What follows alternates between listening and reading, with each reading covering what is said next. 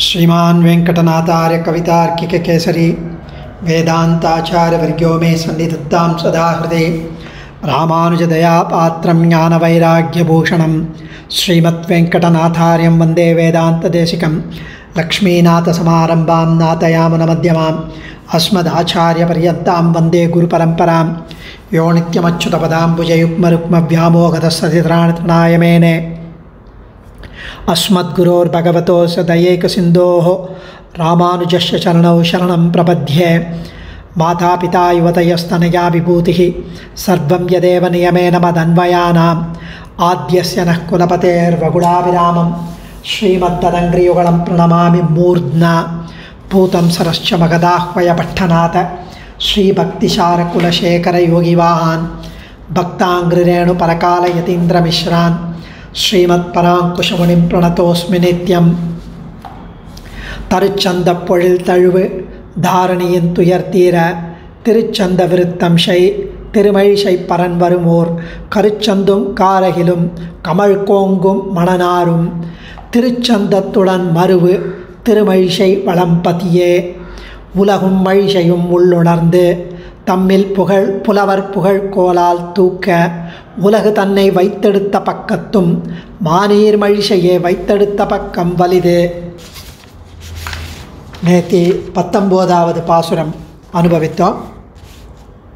அதில் வந்து பள்ளி கொண்ட அழகு பாம்பின் மீது படுத்திருக்கும் அழகு அதை வந்து கெருடன் கெருடனையும் அனுபவித்து அந்த கருடனுக்கும் பாம்புக்கும் பகை இருந்தாலும் இரண்டையும் இரண்டு இரண்டின் மேலும் ஒன்றாக பிரீத்தி கொண்டு இரண்டினாலும் கைங்கரியம் செய்யப்படுகிறாயே. எவ்வளவு ஆச்சரியமான விஷயம் அப்படின்னு பார்க்கடலில் பள்ளி கொண்ட அழகை தெரிவித்தார் பத்தொம்போதாவது பாசுரத்தில். ஹம்சாவதாரமும் அதே மாதிரி மத்ஸ்யாவதாரமும் அதே மாதிரி அந்த அந்த மது கைட்டபராக எடுத்த ஹயக்ரீவ அவதாரமும் அப்படி டச் பண்ணி இப்போது அதுக்கு அடுத்தது மறுபடியும் பள்ளி கொண்ட அழகை தெரிவித்து ஆனால் தேவர்களெல்லாம் புகழ்ந்து பாடும்படி பெருமையுடன் பார்க்கடலில் பள்ளி கொண்ட அழகு இருக்கட்டும். ஆனால் ஈனமாய் பிறந்து ஒரு கூர்ம அவதாரம் எடுத்து அதே பார்க்கடலின் கீழே படுத்து கொண்டிருந்தாயே அது என்ன? விய வியப்பு. அப்படின்னு வியந்து அனுபவிக்கிறான். இதில் வந்து இந்த பாசுரம் இருபதாவது பாசுரம் கூஷமொன்று மின்றி மாசுணம் படுத்து வேலை நீர். பேச நின்ற தேவர் வந்து பாட முன் கிடந்ததும்.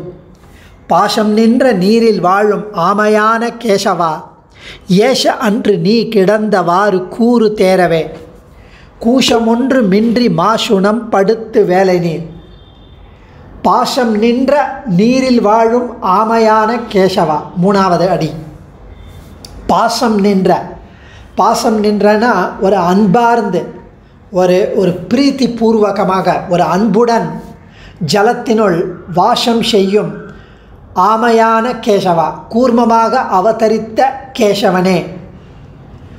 அதாவது அந்த கூர்மமாக ஜலத்தினுள் வாசம் செய்து அதுவும் அன்புடன் ஜலத்துடன் ஜலத்தில் வாசம் செய்து கூர்மமாக அவதரித்த கேசவா.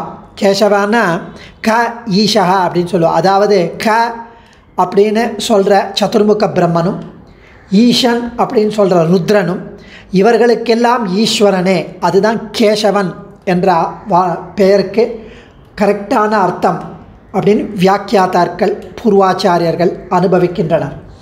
அந்த கேசவனை பாடவும் நீ கேட்டே கிடத்தியோன்னு ஆண்டாள் சொல்லும்போது இதே அர்த்தம்தான். கேசவா கூஷம் ஒன்றுமின்றி நீ கூஷம் ஒன்றுமின்றி சிறிதும் கூச்சமில்லாமல் சிறிதும் வெட்கமில்லாமல் ஒரு ஒரு கூர்ம அவதாரம் எடுத்து ஒரு ஆமை மாதிரி அவதாரம் எடுத்து வேலை நீர் பாஷுணம் படுத்து கடலின் நீர் நடுவே சிறந்த சர்ப்பத்தை விரித்து பார்க்கடலில் பட்டுருந்திய அது ஒரு விஷயம். அது பேச நின்ற தேவர். சர்வேஸ்வரனாக உலகம் பேசும்படி பெருமையாக நின்ற பிரம்ம ருத்ர தேவேந்திரர்கள் அந்த தேவர்கள். அதாவது இந்திரன் ருத்ரன் பிரம்மா அப்படின்னு அவர்களால் உலக உலகத்தாரால் பெருமையாக பேசப்படும் பேசப்படும் அந்த தேவர்கள் எல்லாம் கரையோரம் வந்து புகழும்படி உன்னை புகழ்கிறார்கள் பார்க்கடல்ல. அப்படி நீ படுத்து கொண்டிருந்தாய் முன் கிடந்ததும். பேச நின்ற தேவர் வந்து பாட முன் கிடந்ததும். இந்த உலகம் போற்றும்படி பெருமையோடு வாழ்ந்து வந்த தேவர்களெல்லாம் பிரம்ம ருத்ராதிகள் எல்லாம் கரையில் நின்று பார்க்கடல் கரையில் நின்று உன்னை பேச உன்னை புகழ்ந்து பாடும்படி வந்து பாட வந்து நாம சங்கீர்த்தனம் பண்ணி அப்படி நீ பள்ளி கொண்டு முன் கிடந்ததும் அப்படி பள்ளி கொண்டிருந்ததோடு உ- இருந்ததோடு மட்டுமல்லாமல் இருந்ததோடும் அப்படின்னு அர்த்தம் இருந்ததோடு மட்டுமல்லாமல் அன்று ஏச கிடந்த ஆறு தேர கூறு அன்று ஏசனென்று நீ கிடந்த வாறு கூறு தேரவே அதை வந்து அன்று அன்னைக்கு அந்த கூர்மா அவதார டயத்தில் ஏஷ எல்லாரும் சிரிக்கிறான் ஏளனம் செய்கிறான். ஐய ஒரு ஒரு ஆமை மாதிரி அவதாரம் பண்ணியிருக்கார் இவ்வளோ பெரிய சர்வேஸ்வரன். அப்படின்னு ஏளனம் செய்யும்படி கிடந்த ஆறு பள்ளி கொண்டிருந்தபடி. எங்கே பள்ளி கொண்டுனா? அந்த அதே பார்க்கடல் கீழே மந்திரமலைக்கு கீழே பள்ளி கொண்டிருக்கிறான். அந்த நாள் அது அது வந்து அந்த நாள் அந்த அந்த ரகசியம் அந்த குருமாவதாரமாக எல்லாரும் ஏளனம் செய்யும்படி படுத்து கொண்டிருந்த அதை தேர கூறு. நான் தெளியும்படி உரைத்தருள்வாயாக. எனக்கு அது புரியல. நீ வந்து எப்படி இவ்வளவு பெரிய சர்வேஸ்வரன்? பார்க்கடலில் பிரம்ம ருத்ராதி தேவர்கள் உலகமெல்லாம் கொண்டாடும் அந்த தேவாதி தேவர்கள் அவர்களெல்லாம் வந்து உன்னை நாம சங்கீர்த்தனம் பண்ணி பாடும்படி இருக்கும் பார்க்கடலில் அழகாக பள்ளி கொண்டிருக்கும் நீ. இந்த மாதிரி அவர்களே ஏளனம் செய்யும்படி பள்ளி கொண்டிருந்த நாட் ஒன்லி தேவர்கள் அசுரர்களும் ஏளனம் செய்கிறார்கள். ஸோ இவ்வளவு பெருமையுடன் பள்ளி கொண்டிருந்தவன் ஈனமாய் பிறந்து கிடந்தது ஏன்? என் கொலோ எப்படி? என்று வியந்து கூறுகிறார் அவனுடைய ஆச்சரியமான சௌலபிய சௌசீல்யத்தை கூஷம் ஒன்றுமின்றி இதுக்கு ரொம்ப அழகாக வியாக்கியானம் பண்ணியிருக்கா கூஷம் ஒன்றுமின்றி கூஷம் அப்படின்னா அச்சம்னு சொல்லலாம். இல்லை கூச்சம் அப்படின்னு சொல்லலாம்.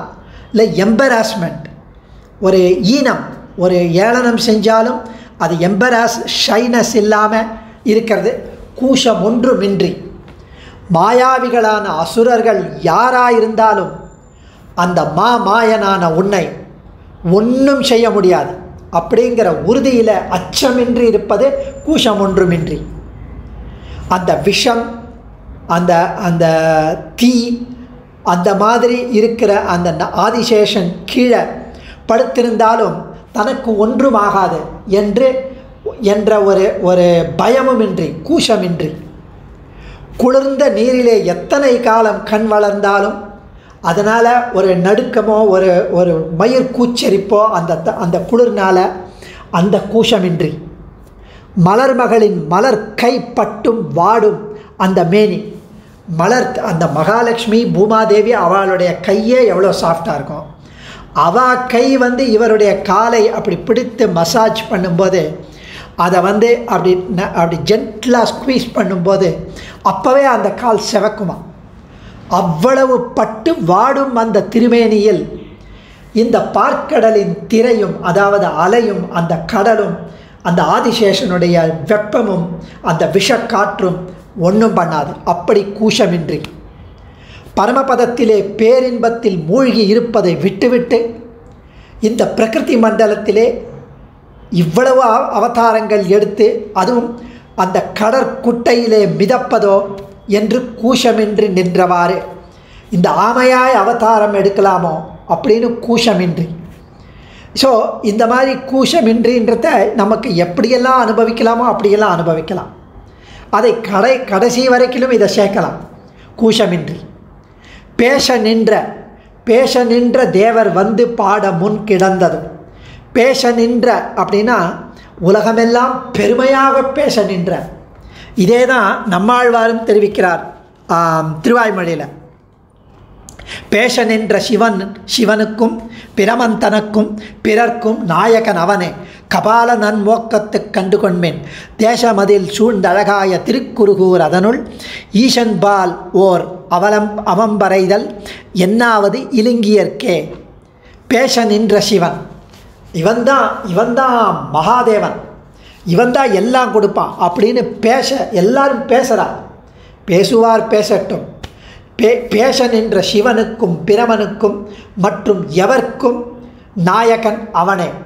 பெருமாள் அப்படின்னு நம்மாழ்வார் தெரிவிக்கிறார்.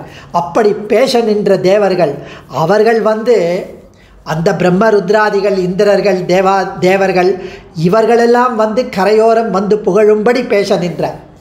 அப்படி இப்படி இவர்கள் பேசுவது. அப்புறம் வேலை நீர் பேச அப்படின்னு சொல்லலாம். இந்த முன்னாடி ஃபஸ்ட்டு லைனில் கூஷமொன்றி பாசுணம் படுத்து வேலை நீர் பேச. அந்த வேலை நீர்னா கடல். அந்த கடல் வந்து பேச. இவர் கிட்ட வந்து பேசுகிறதாம் கோஷிக்கிறது. அந்த அலை வந்து உஷ்னு ஒரு சத்தத்தோடு வந்து பெருமாள் கிட்ட பேசிட்டு போகிறதாம் அப்படி அந்த அந்த அலையோட அந்த பேசத்தை பேச வேர்டை அங்கே சேர்த்துட்டு நின்ற தேவர். அப்படி அங்கே அலையடிக்கும் போது அந்த ஓரமாக நின்ற தேவர் அப்படின்னு தெரிவிக்கிறார். கிடந்ததும் உம்மை அப்படி நீங்கள் பள்ளி கொண்டிருந்ததும் அந்த உம் அது வந்து அப்படி கிடந்தவாறும் அப்படி கிடந்தும் அவன் போனதும் திரும்பினான். அப்படின்னா போனவுடன் திரும்பினான். அப்படின்னு அப்படின்னு எடுத்துக்கணும். அதே மாதிரி கிடந்ததும் இங்கே வந்து ஆமை அவதாரம் எடுத்தார். அப்படி பள்ளி கொண்டு இருந்ததும் இங்கே வந்து ஆமை ஆமை அவதாரம் எடுத்தார். குர்மா அவதாரம் எடுத்தார். அப்படின்னு பாடமுன் கிடந்ததும் ஏஷ அன்று கிடந்தவாறு அப்படின்னு பெரியோர்கள் புகழும்படி இங்கே இங்கே ஆமையாக கிடந்தவுடன் ஏசும்படி நடந்தது.